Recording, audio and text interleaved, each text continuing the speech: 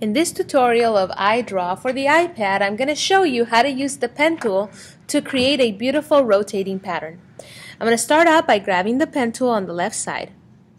As you can see, I've already created a document that has a grid as well as lines showing me 45 degrees 45 degree angles. These are going to be very helpful later on. I'm going to go ahead and grab the pen tool. Then I'm going to select what color I want my line to be by clicking on the little donut on the left side. Pick whatever color you want.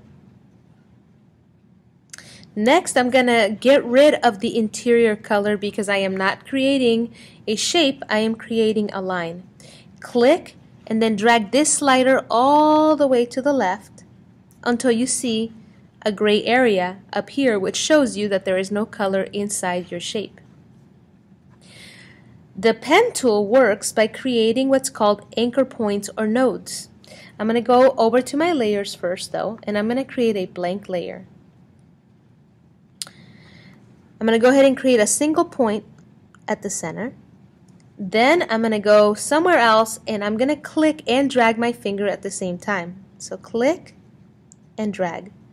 As I'm dragging, these handles show up and as I tilt them, it changes how my curves look. Now that I have this first curve, I'm going to tap somewhere else and I'm going to drag my finger and I'm going to let go. I'm going to go ahead and add another point. And I'm going to keep my curve relatively simple.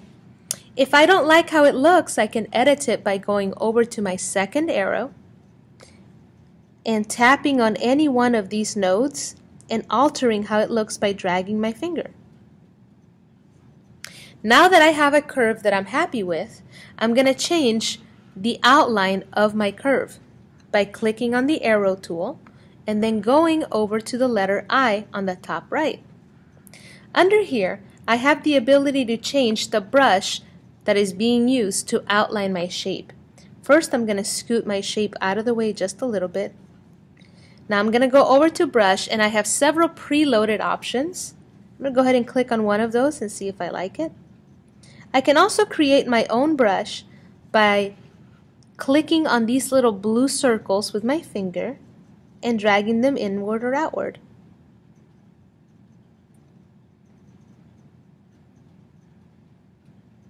And I'm trying to create areas of thinness and of thickness. And I'm rotating my finger as I'm doing this. And I like how that looks. So I'm going to go ahead and pinch outward so I can see my document. Now I'm going to create a pattern by rotating this shape over and over all the way around. I'm going to select my object, then I'm going to click my rotation tool on the left side. Then I'm going to select how many degrees I want to rotate by. The smaller the number, the greater the number of rotations. I'm going to put 45 degrees, which will mean that my shape will hit each one of my red lines once.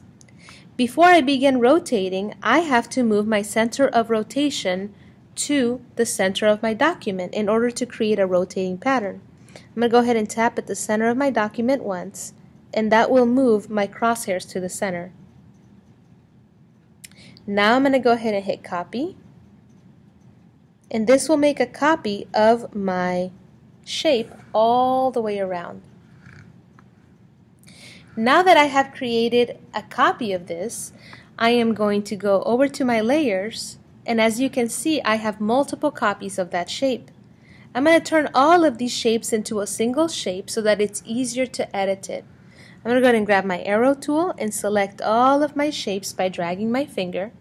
Then I am going to click on the combine menu and I'm going to go to the second choice which is combine and I'm going to click where it says make compound path. Now instead of having a lot of shapes, I only have a single shape in my layer. I'm going to take this shape and copy it. I'm going to go over to my little paper clip on the top left and I'm going to click copy. Then I'm going to select paste in place. I have now made a copy of this object even though it's not visible. If I go over to my layers, you can see that I have two copies of it.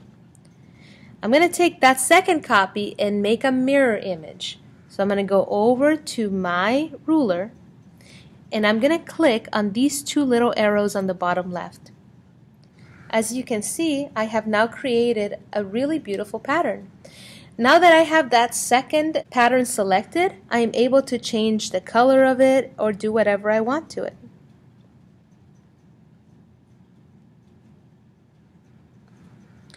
By using the pen tool, I was able to create an interesting pattern.